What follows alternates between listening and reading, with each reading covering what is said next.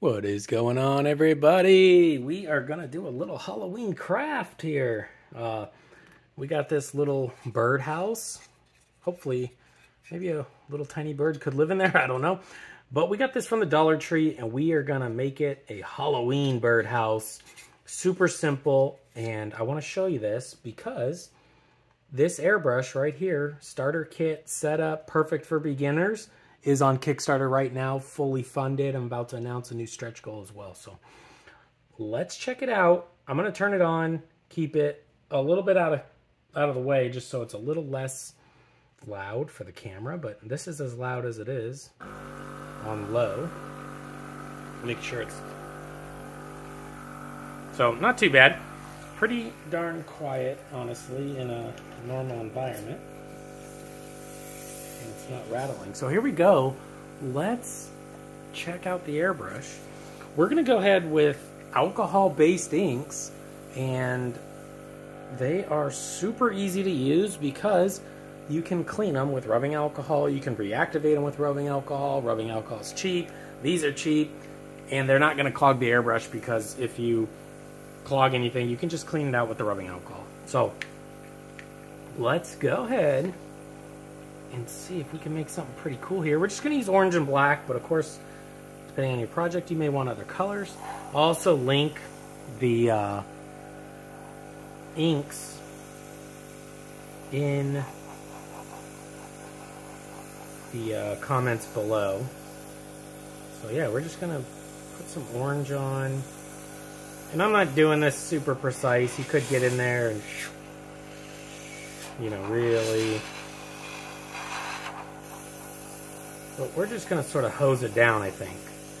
We just want that bright orange, like that. And we'll move on to the other side. And yeah, let me know in the comments below if you work on any crafts or if you repaint any decorations that you might buy at the Dollar Tree.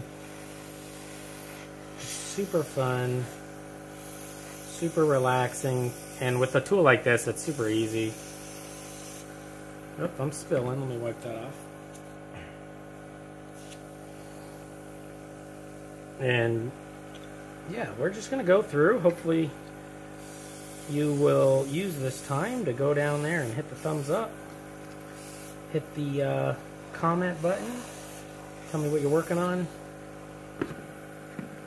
Are you planning on going to any conventions this year. Halloween conventions are super fun. I think I might go to Mask Fest.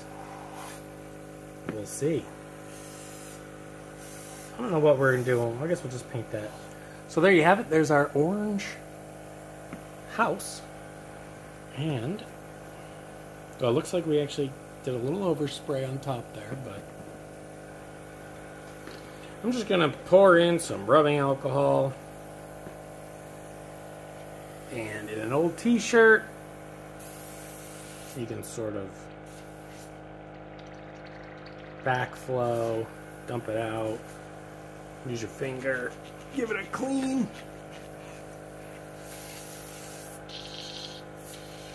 Hold the needle back and wipe inside there. Great. You can see I'm actually spilling quite a bit because I'm not sort of paying attention to the camera but it's been running down here when you're, you know, trying to catch it on film. But let me just put a little bit more rubbing alcohol in. Make sure that is out. And yeah, we'll go ahead and switch to the other color. So, here we go. We got our orange base on. Let's go ahead and close that up. And we're just going to switch over to black. And yeah, it's like a little goth birdhouse for a little tiny bird. So if you got some tiny, tiny birds. Oh, I haven't opened this one yet. Uh, these always kind of explode a little bit, but I use this big uh, safety pin. Let's see how much it wants to. Eh, not too bad. You can see it popped a little bit. We contained it. So let's go ahead and shoot some black. And I'm not too worried about overspray. This is just a fun little craft project for the video. Maybe I'll sell it at a little garage sale or something. But yeah, we're just shooting this in and I just want to show you how easy it is to customize these little wooden crafts with the airbrush set up here.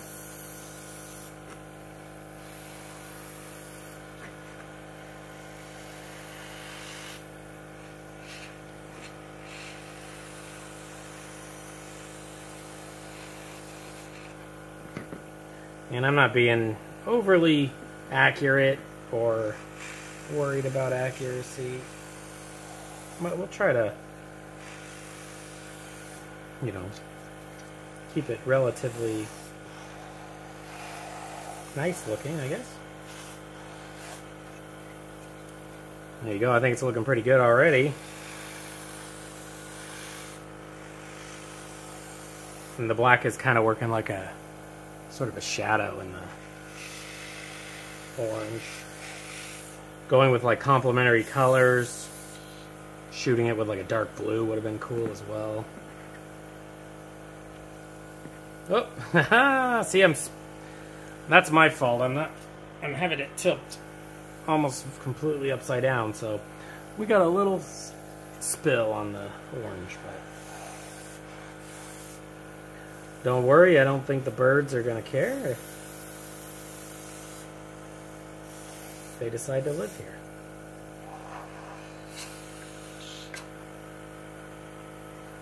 There you go. Let's move on to the bottom, and I think we could just call it done. Hopefully, little crafts like this are something you're interested in. And please, if you are into Halloween and crafts, go ahead and check out the Kickstarter because I would love for you to support the project. And hopefully you'll make some really cool stuff. So there you have it. Just uh, I'm just going to finish up the